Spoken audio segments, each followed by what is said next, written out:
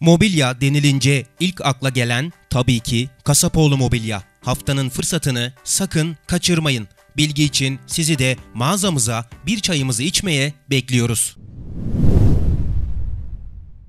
AK Parti İlçe Başkanı Kemal Sancaktar ve parti yönetimi Hemşireler Haftası dolayısıyla ilçemizdeki hemşireleri ziyaret ettiler ve karanfil dağıttılar. Ablacığım merhaba nasılsın? Sağ, sağlık sektörümüzün vazgeçilmezi sizlerin hemşireler günü kutlamak istedik. Ben AK Parti İlçe Başkanı Kemal Sancaktar. İyisiniz inşallah. Allah iyilikler versin. Kolay gelsin. İyi çalışmalar. Hocam hemşirelerimizi kutluyoruz ama doktorlarımızı da kutluyoruz. Önemli değil. İyisiniz inşallah. Hemşirelerimizin gününü kutlayalım da size. Siz de mi hemşiresiniz? Buradasınız. Buradasınız. Maşallah. İki, iki, iki kişi mi? Değerli arkadaşlarımızla ziyaret edelim Buyurun. Gününüz kutlu olsun inşallah. Kolay gelsin. Kendinize iyi bakın. Var mı bir Kolay gelsin.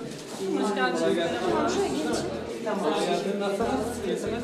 Şöyle verelim inşallah. Kalabalık mı nasıl? İyisiniz. Kolay gelsin. Buyurun.